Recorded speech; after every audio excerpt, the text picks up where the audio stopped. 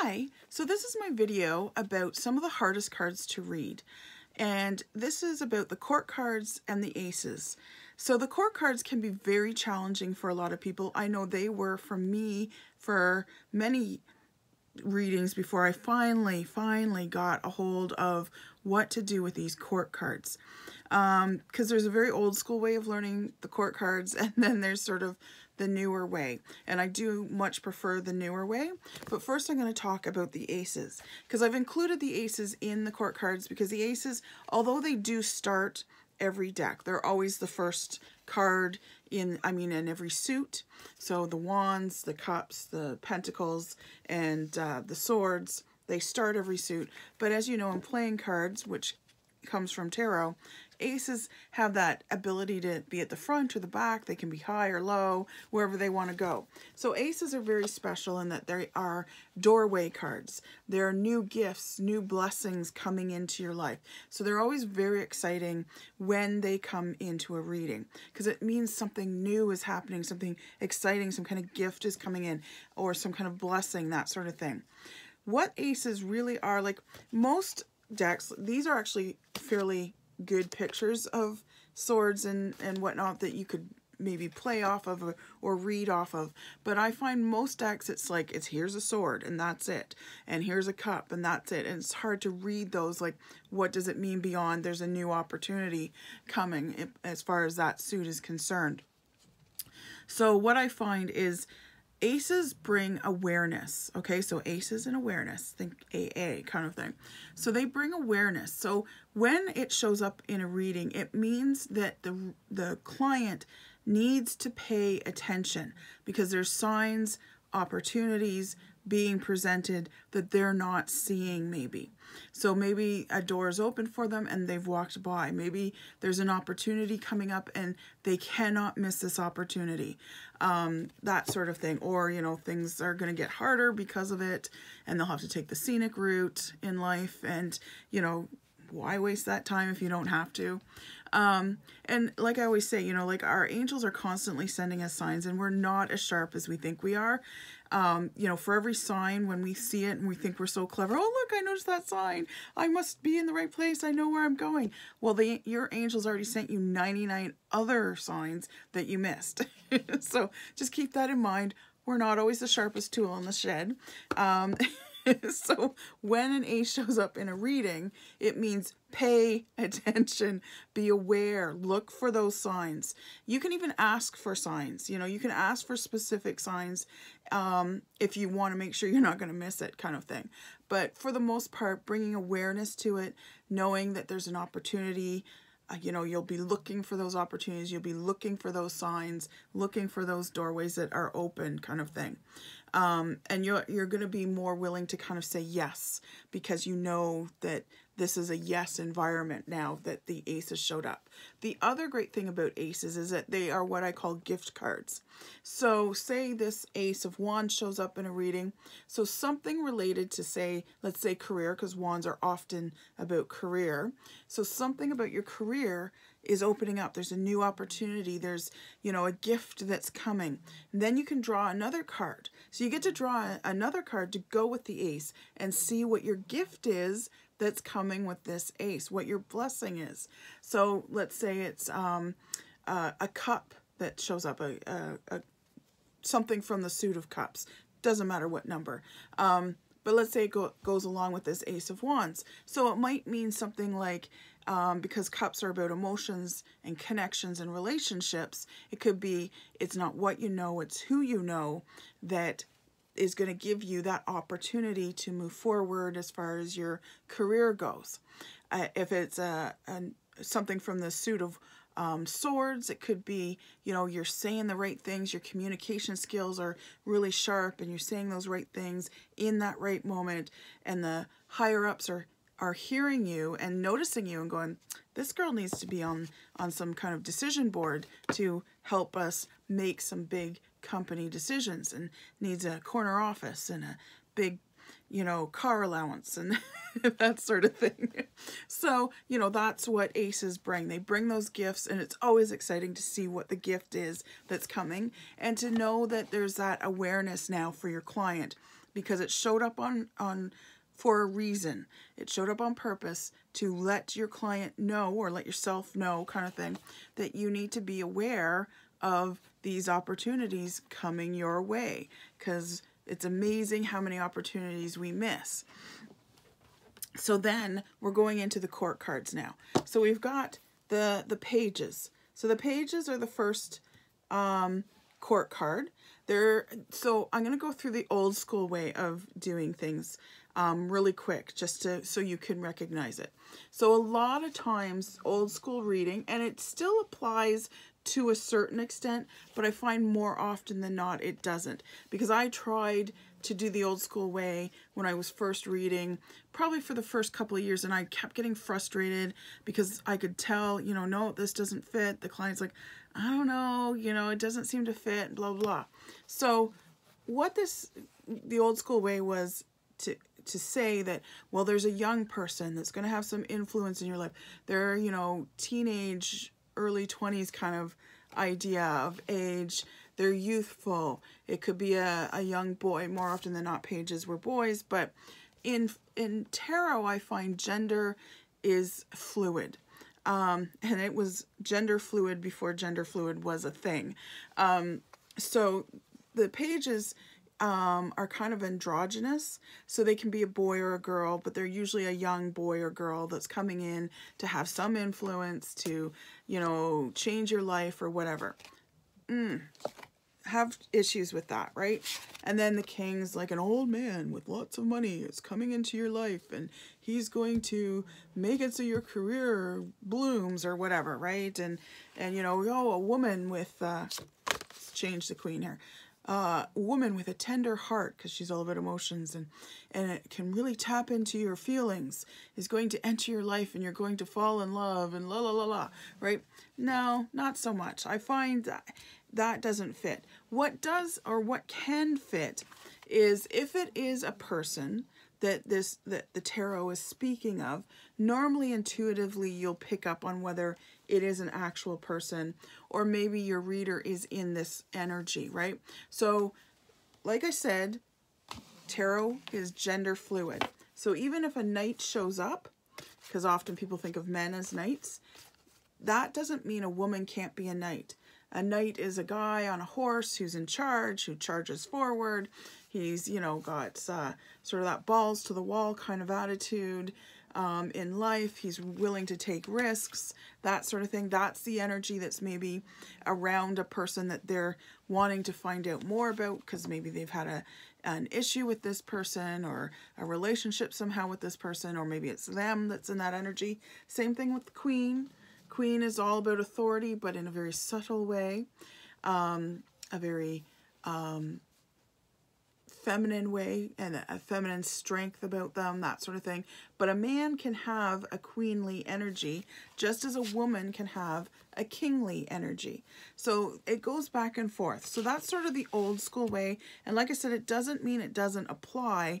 It's just I find what happens with these cards is the action is more what is playing to. So pages were the messengers of the court.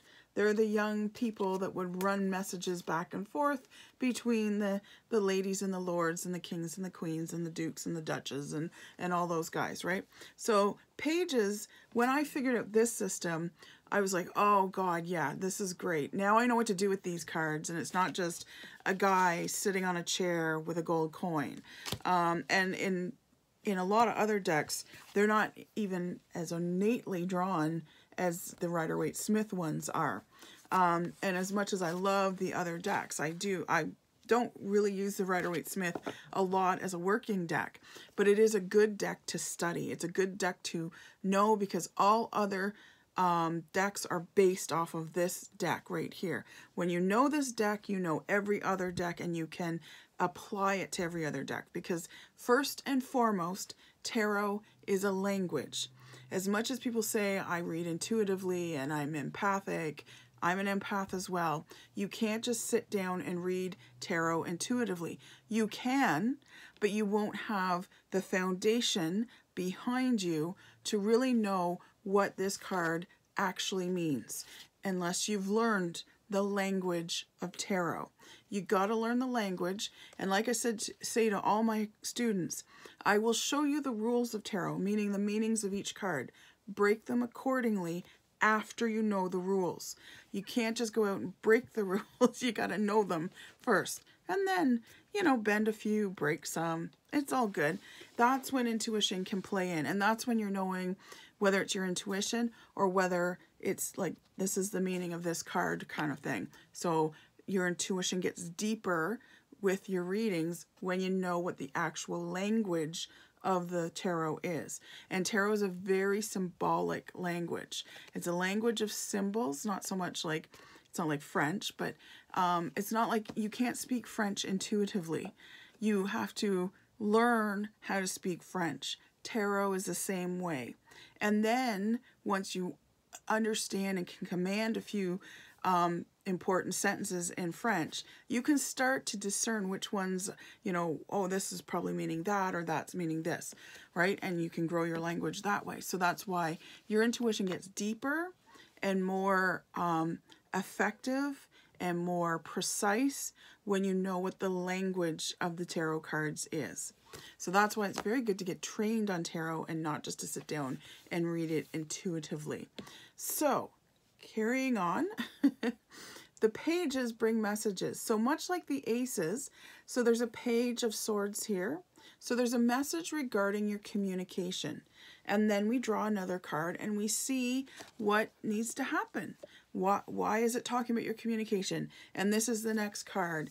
And maybe it's a wand card that shows up. So your communication as far as work goes needs to change. Or if it's regarding your health, then it's your communication with your doctor needs to improve or change or you need to tell them this or tell her that or whatever. If it's a cup card that comes with a page of swords, then perhaps it's, you know, in this relationship, you need to change the way you're speaking to this person because it's not effective. They're not hearing you.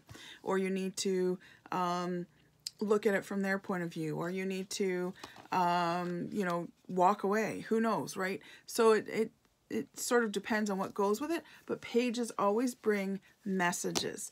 Um, they can be great messages. They can be messages of warning. You know, yeah, if you keep doing this, you're going to lose your job, that sort of thing, right? So they're good cards to have because they always bring nice little messages, just nice remi reminders, right? Then we've got our knights. So our knights are about movement forward. Like I said, they're sort of the risk takers. They want to take that risk. However, they are talking about it. They're not, they haven't yet, you know, well, this guy's moving, but most of the time it's people that are still standing there. there It's a guy and a horse, right? So that's why they're hard to read. Guy and a horse. But they're they're about movement forward, but they're about the planning stages of moving forward. They're actually talking about it now and getting serious. And they're willing to take the risk, right? So this is when this card when these cards show up it usually means that there's some kind of plan that you need to kind of get in to your head. And you can draw another card if you want for the the knights as well just to see what's the action plan. Where do i need to focus right? Um, so if it's a page or a knight of pentacles i mean so that's about money right? Pentacles are often about money. And then a wand shows up okay, so we need to make a plan as far as our career goes. You know, if you're a student, what's your schooling plan? If you're an entrepreneur, what's your marketing plan? If you're in a career that you can, you know, move up the ladder a little bit, what's your next step to make that next um, level up the ladder kind of thing?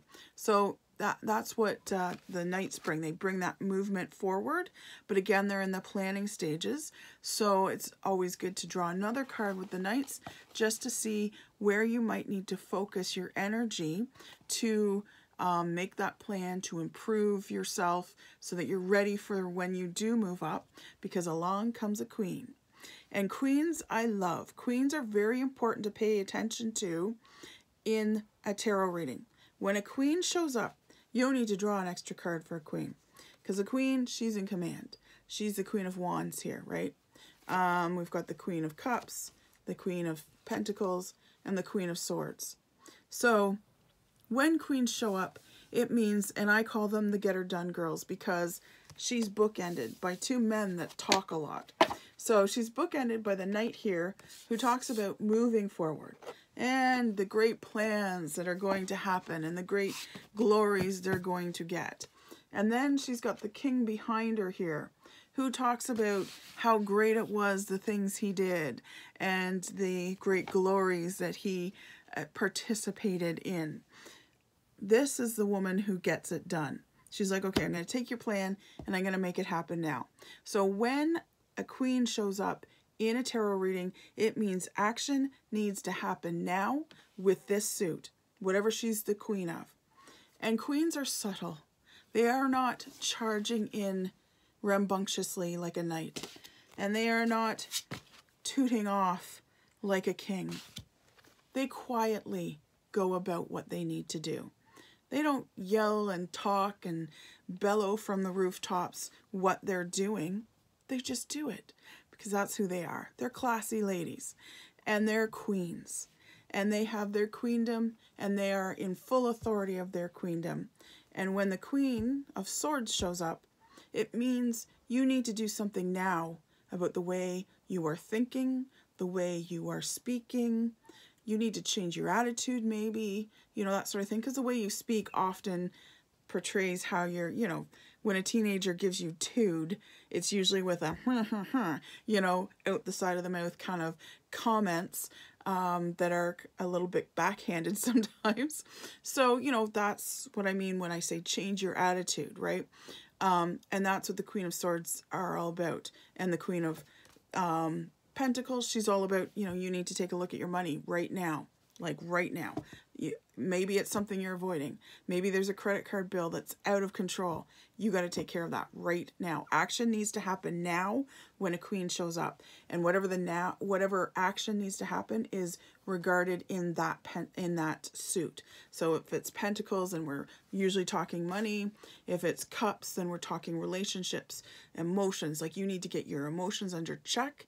You need to, you know, get your anger under control or you need to get that relationship fixed now, whether it's an argument with a sibling, a mother, a father, a, a spouse, whatever it might be, that needs to change. Um, wands, if wands show up, it means something needs to happen at work right now and you need to change your attitude towards your boss or you need to change your attitude towards a coworker you need to learn to get along to go along you know or you need to change you know maybe you've been lazy at work you need to change that that needs to you know get out of there and you can't be a lazy worker anymore. You got to pay attention to the details and be a conscientious, reliable worker. If it's to do with health, because wands can uh, cover health as well, it means you need to change what you're doing right now. You're eating too many donuts and you need to start eating more salads, you know, whatever it might be, right? Um, and then we talked about the Queen of swords. So that's what queens are, are all about. They are the action girls. And when they show up in a reading, it means action needs to happen regarding whatever suit they cover now. And it's often interesting to see what comes before and after a queen because she tends to influence the cards. More often she'll influence the card that comes after, but sometimes she can also influence a little bit of the card before. Because um, the queens, much like chess, can move wherever the hell they want to and do whatever move they want. Um, so the, the, the horses in chess are a little tricky. That's the only move the queen can't do. But they um, are good at making those surprise moves and planning those plans, right? But the queen, she can move wherever she wants and she's got power. So, and she's all about action that needs to happen right now in your life. So then we've got the kings, the mighty kings. So we've got the queen, the queen, we talked about her, and the kings are very much in charge of their suit. They're one of two things, generally speaking. They're either the master of that suit, right? So, because they didn't become the king of pentacles, for instance, by, you know, being bad with money kind of thing, right? So they're the, either the master of the suit or there's a refocusing that needs to happen. That's what these cards mean when they show up in a reading. Often it's a refocusing, but sometimes that it's a mastery of. Meaning, so when, like, okay, so you tell someone they're the master of money? No. sometimes, I mean, you can tell them that if you want, but sometimes it means that you're, this is a good strength of yours that maybe they've forgotten about, right? So, you know, like if the King of Swords shows up, and let's say it's a relationship kind of reading and the woman's worried because her and her husband have been fighting a lot. This shows up and I say, remember, you're very good at communicating. It's actually one of your strengths. And you need to open up the channels of communication and you know how to get your husband to sit down and have a serious talk without going, oh my God, she wants to talk again, you know, kind of thing. So remember that. So sometimes there it's a reminder of where your strengths lie and that you are capable of doing this. This is what I'm telling my client, right? So sometimes we need those reminders that, no, you're really good at what you do at work right? Because wands often cover uh, work or career, that sort of thing. You're really good at what you do. Because maybe they're having a moment of doubt, you know, and saying, I don't know. I feel like I'm a fake. I feel like I'm going to be found out as a fraudulent whatever, you know, creator or, you know, whatever it is they do as their career kind of thing. Or, you know, no one likes me. No one's buying from me. You know, I can't get the traction that I want, that sort of thing. Sometimes it shows up as a reminder. You're good at what you do. So keep doing it. You will be found, right? Uh, more often, it's shown as a refocusing, that you need to refocus your, your attention here. You've been scattered or um, you know, not clear on what you want to go, where you want to go, what your direction is. You've been kind of flaky and flighty. You've been here, there, and all over the place. You know, the focus is gone from your life. So you need to refocus on your money, for instance, or you need to refocus on how you're communicating. Um, you know, like say there's a lot of wands and we've been talking about career the whole time and this guy shows up. What's your marketing message? Are you concise in what you're trying to say? Are you hitting your target market? That sort of thing. Because I also do business um, tarot readings, so a lot of mine become business tarot readings. But the, when this guy shows up, it's like let's let's see what you've been doing as far as how you're speaking. What are you saying to clients? You know, what is your staff saying to clients? Um, how are you marketing yourself? All forms of communication come into play uh, as far as you know, where the refocus might need to go. And you can also like kind of look at the cards before and after the king to see they might give a hint as to where that focus needs to go. Because maybe it's just that, well, you know, your storefront isn't very pretty, so that needs to be changed because people think you're closed all the time because it's so dark and dismal there or whatever. Um, so that's what the kings mean. They're often a refocusing on whatever suit they are king of or they're a reminder of the strength that you have within that suit um, because they're the, either the masters of or need to refocus. So that's the court cards and the special cards of the aces. Um, I'm going to continue on with some more um, going into each suit. So I believe I'm going to have the suit of wands up there very soon and then I'll have the other suits following that as well. Okay, talk to you later. Bye. Oh, and don't forget to subscribe to my channel. like this video, please. Um, and when you subscribe, you get notices of when I put new videos up, so you'll know when the swords and the chalices and, and the pentacles go up and that sort of thing. And please feel free to share my videos if you want to share it with a friend. Okay, talk to you later. Bye.